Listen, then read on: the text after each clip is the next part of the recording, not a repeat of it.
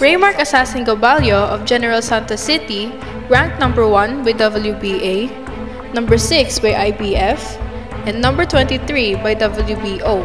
He'll be fighting the Dominican Republic former WBA bantam titleweight holder Juan Carlos Payano, according to MP Promotion President Sean Gibbons. They will be fighting for the WBA World Interim Championship. The forthcoming fight will be the major test of Reymark Gaballo.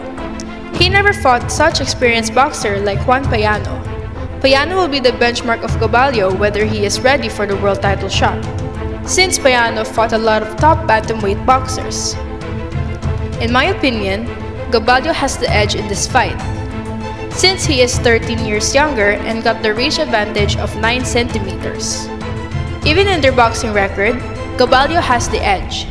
He has 23 wins, 20 of which via knockouts, while Payano has the record of 21 wins, 3 losses, and 9 of wins via knockout.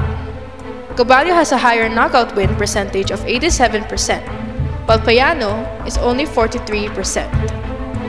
My prediction on this fight is Payano will set up the gas to stay in the ranking.